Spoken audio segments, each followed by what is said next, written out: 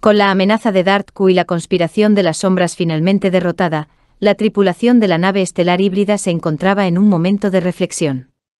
Habían enfrentado desafíos que ninguna otra tripulación había enfrentado antes, la fusión de dos universos icónicos, la lucha contra una tecnología alterada y la batalla contra los Yu Zambon.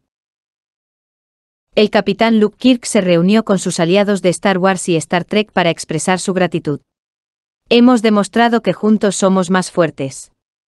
Nuestra alianza ha salvado a ambas galaxias y ha restaurado la paz y la justicia en el universo.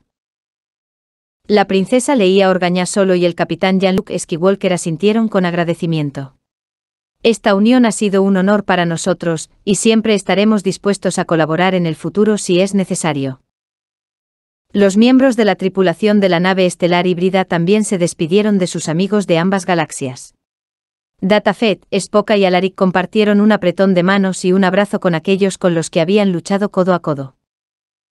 Sargento Borf solo quien había advertido sobre los Yu Zambon, expresó su respeto por la tripulación.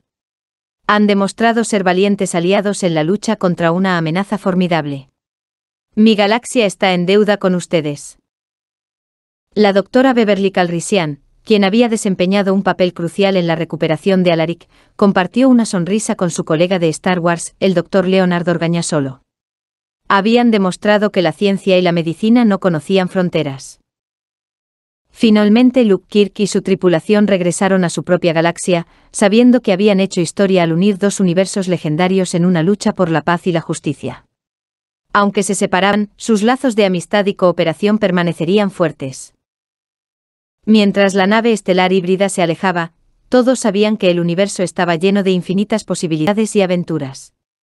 Aunque habían enfrentado desafíos extraordinarios, estaban listos para enfrentar lo que el futuro tenía reservado, juntos y por separado, en nombre de la exploración y la búsqueda del conocimiento en el vasto cosmos.